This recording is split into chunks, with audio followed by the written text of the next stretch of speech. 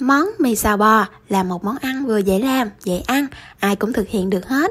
Vì vậy có rất nhiều cách xào mì và xào mì theo phiên bản của mình là nhà hết mì gói nên sử dụng mì Ý. Thịt bò xào thì phải đi đôi với hành tây, mà hành tây thì phải sắc muối cao. Và phần căng thẳng nhất là phần lừa được sớ thịt để khi sắc cho đúng sớ. Rồi khi xào ra thì ăn thịt nó không có bị dai.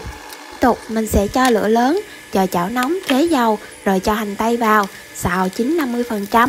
Rồi tiếp tục mình sẽ cho thịt bò vào, nêm vào là nửa muỗng muối, một muỗng hạt nêm và một tí tiêu xay. Xào cho vừa chín tới rồi vớt ra. Cải xanh mình đã ngâm muối rửa sạch rồi sắc khúc. Sử dụng tiếp cái chảo đó để cho cải vào xào cải. Khi phần cải của mình trong chảo vừa chín tới thì tiếp tục sẽ cho mì vào rồi trộn xào. Và cuối cùng là cho phần thịt bò hành tây vào, trộn lên rồi tắt bếp. Một dẻ mì sao bò, bò mềm thơm, mì bùi dai, rau ngọt giòn, chấm tương ớt là hết ý. Nào các bạn cùng thử mì sao bò với mình nha.